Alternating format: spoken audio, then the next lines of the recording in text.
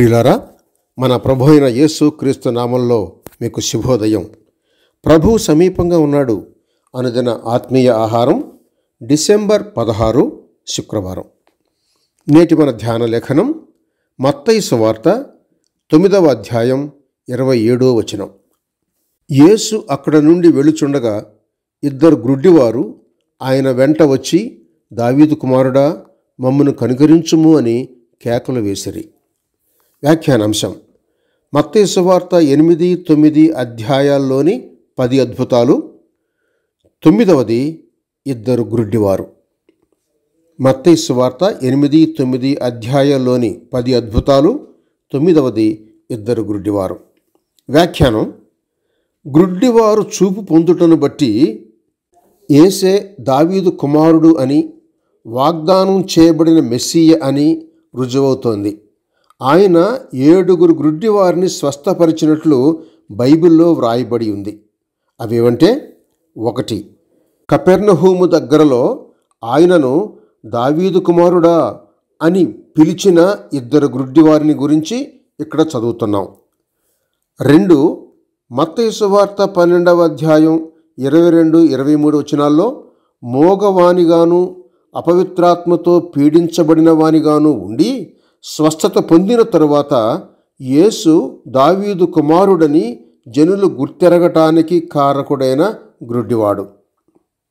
మూడవది మత్తయి సువార్త ఇరవయో అధ్యాయం ఇరవై తొమ్మిది నుండి ముప్పై నాలుగు వచనాల్లో ఎరికోకు సమీపాన ఆయనను ఇదే విధంగా గుర్తుపట్టిన ఇద్దరు గుడ్డివారు నాలుగవది మార్కు సువార్త ఎనిమిదవ అధ్యాయం ఇరవై రెండు నుండి ఇరవై ఆరు వచనాల్లో బెత్సైదానందు రెండు మార్లు తాకబడిన గ్రుడ్డివాడు ఇక ఐదవది యోహాను సువార్త తొమ్మిదవ అధ్యాయంలో శిలోయము అను కోనేటిలో కడుగు కొనుమని పంపబడిన గ్రుడ్డివాడు ఏసే రాబోవాడని బాప్తీసమిచ్చి యోహాను గ్రహించేలా అతనికి తెలుపబడిన మొదటి విషయం గ్రుడ్డివారు చూచుచున్నారు అనే సంగతి. మతేసు వార్త పదకొండు ఇరవై ఆరు చూడండి.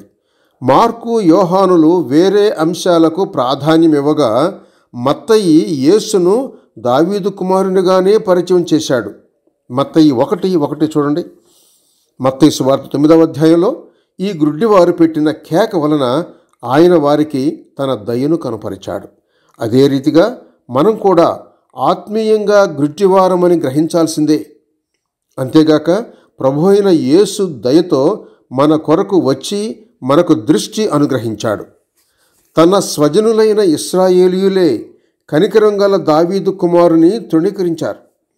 మత్తేసు వార్తలోని అద్భుతాల జాబితా రోమా పత్రికలోని సిద్ధాంతపరమైన బోధకు సూటిగా సరిపోతుంది. ఐదవ అద్భుతం జరిగిన సందర్భంలో వారు ఆయనను అక్కడి నుండి వెళ్ళిపోమన్నారు.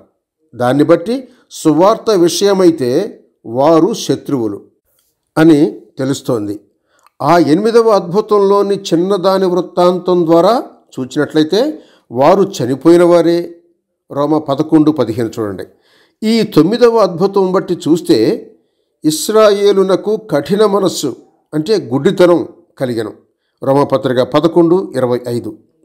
మనం కనికరించబడినట్లుగానే వారు కూడా కనికరింపబడుదురు.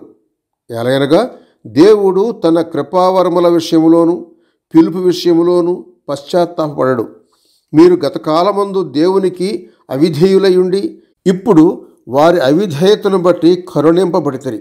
అటువలనే మీ ఎడల చూపబడిన కరుణను బట్టి వారును ఇప్పుడు కరుణ పొందు నిమిత్తము ఇప్పుడు వారు అవిధేయులై ఉన్నారు అందరి ఎడల కరుణ చూపవలను అని దేవుడు అందరిని అవిధేయతా స్థితిలో మూసివేసి బంధించి ఉన్నాడు రోమపత్రిక పదకొండవ అధ్యాయం ఇరవై తొమ్మిది నుంచి ముప్పై రెండు వచనాలు. సహోదరుడు గ్రెగ్ క్వెయిల్ శుభములతో వందనాలు.